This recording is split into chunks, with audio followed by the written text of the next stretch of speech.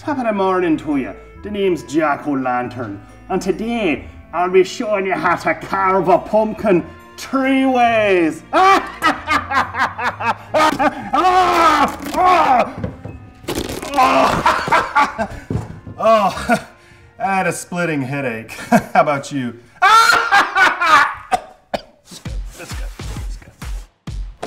Shall we begin with the easy pumpkin? Maybe. I'm going to keep this pumpkin fairly traditional and with a little twist. Now I'm just using a Sharpie to mark out my lines to draw this and I'll show you how you can clean that up later. If you try to use a pencil it's really hard to see. Now one thing I do, I like to cut out the main parts of the pumpkin using one of these safety cutters because honestly it's actually easier to use than it is a knife. Now I'm just going to wipe off the excess marks that I left on here with some acetone. When you get done using an acetone rag, make sure that you soak it with water and set it somewhere where there's no fire hazard.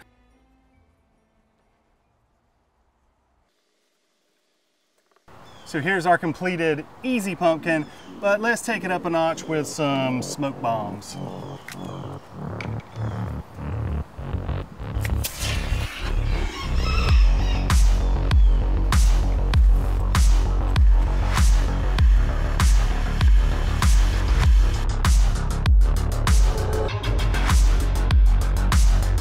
Try two different colors, black and green.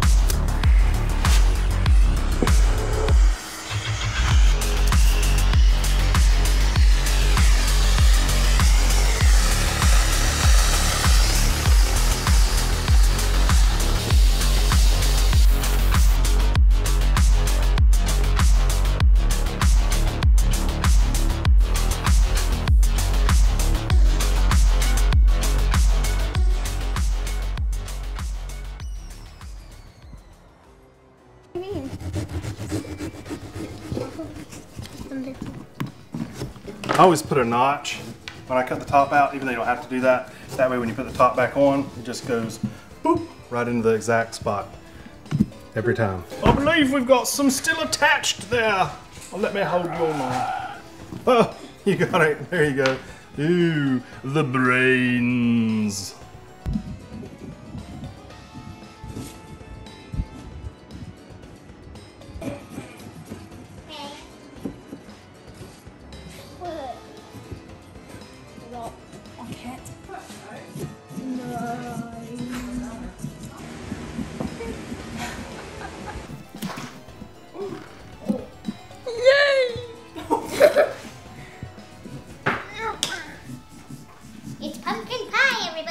And now, let us begin the medium pumpkin.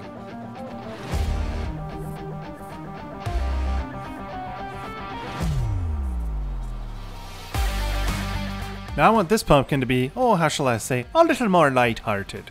So I'm going to give him a huge smile and some smaller eyes. Now he's going to need some ginormous teeth to make this work.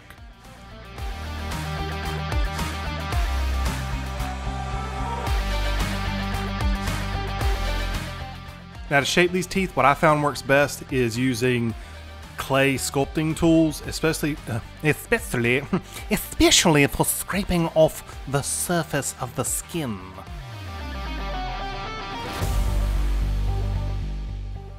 Now my little friend here, he could eat corn on the cob through a picket fence. You know what I'm saying? So I'm gonna help him out, all right?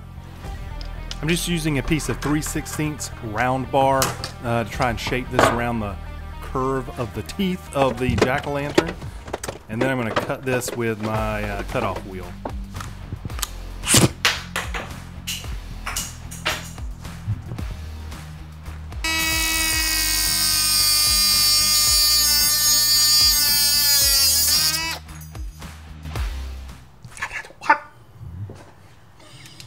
a, listen, folks, whenever you cut something like a piece of metal, don't touch the end of it because it's hot and it will burn you. It's bad. It ain't no bueno. All right, don't do it. I just did it.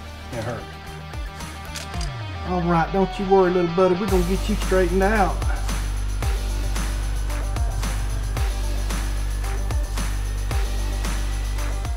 For the brackets, I actually found these wire holders in the electrical section at my local hardware store.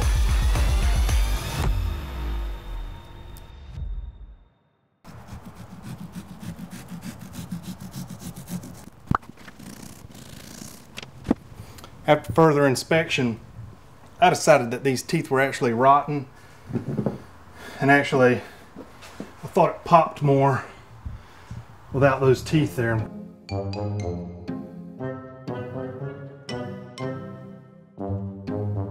Madison, are you ready for your reveal? Yes. Go. Ooh, spooky. Spooky. What's the other side? Show. Rip. Cameron, are you ready for your reveal? Reveal! Creepy. And both happy at the same time. Rip. Riley, are you ready for your reveal? Yes. Reveal. Who? Who? I don't know. That's the remaining question. Nobody knows. Who? Who? Who? Yes. And um, that's lovely. Just because it's lovely. And now for the most difficult of them all the evil eye!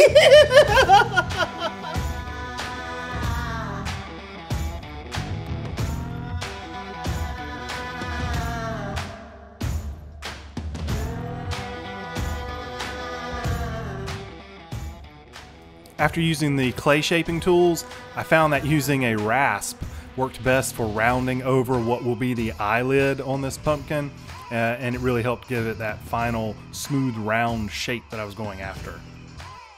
So I looked all over and I couldn't find any giant sized pumpkins, so I had to work with what I had because I would have loved, I mean loved, to have used a white pumpkin for the eyeball, but this was, mm, you know, about the smallest white pumpkin I could find and it's too big for that.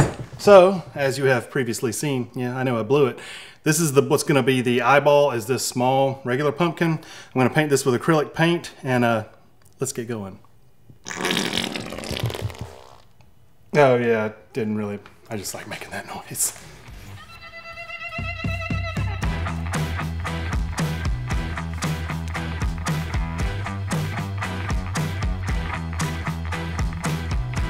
Two coats for good measure, and do try to keep your pinkies up. After all, we're not heathens, are we?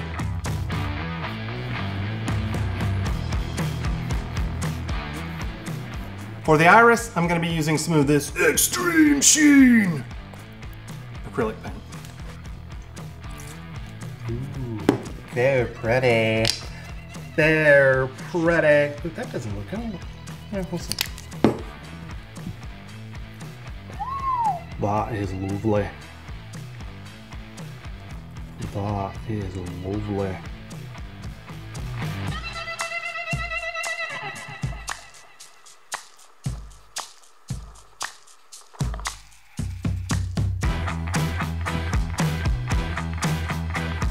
Never hurts to add a little bit of glitter.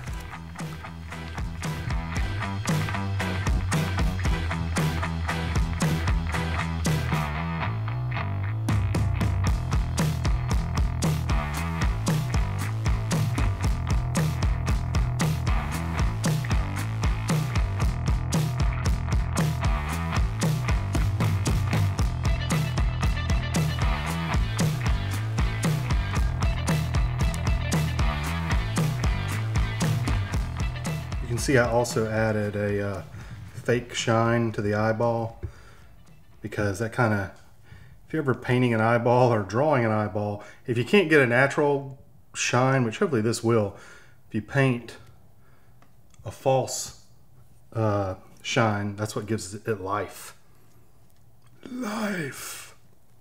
When I put this eyeball in here, it's just going to roll around. I don't really know how to stop it other than I'm to try to put this uh, these two pieces of plywood in there and see if they will hold it. Ooh, look, I could actually leave it like that. Ooh, that's wild. Oh, that. I mean, there it is, deep in there, but actually, I think it's kind of cool. Squeezing it like that, bulging. That's disgusting. Okay, all right.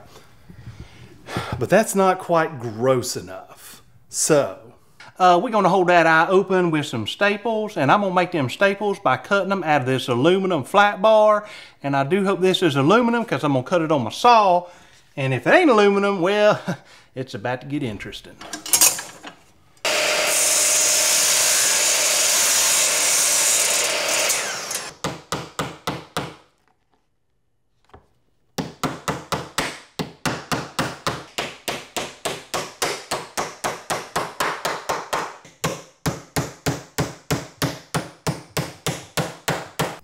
Put the stopples.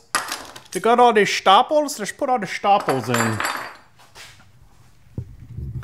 Because we've got to hold back the flesh, the pumpkin flesh, to keep the eyeball open.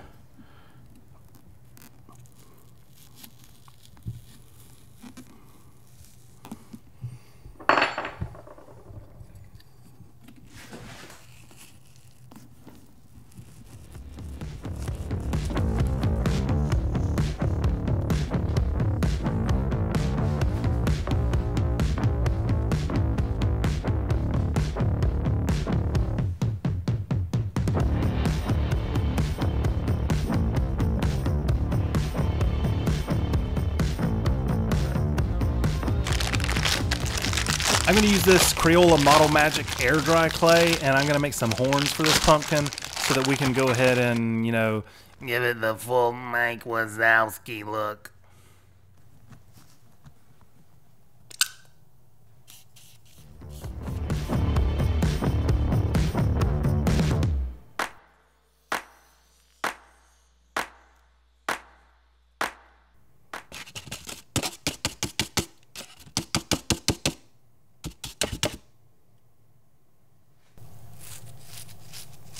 If you can find an old toothbrush, it works perfect for giving these speckles. Unfortunately, I couldn't find an old one, so I just had to use Kim's. Hopefully by the time I use that white paint, she won't notice though.